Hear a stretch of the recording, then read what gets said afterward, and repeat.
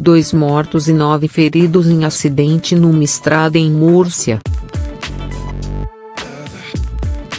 Dois homens de meia idade morreram e outras nove pessoas ficaram feridas num choque frontal entre um carro e uma carrinha na localidade de Torre Pacheco, em Múrcia, na Espanha, informou a unidade de trânsito da Guarda Civil.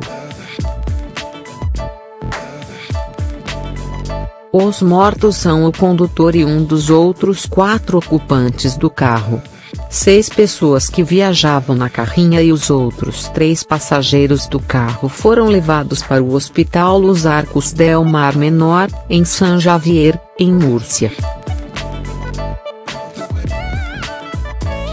O acidente ocorreu por volta das 7h45 horas locais, 6h45 horas em Lisboa, no quilômetro 6, 7 da estrada RM 313.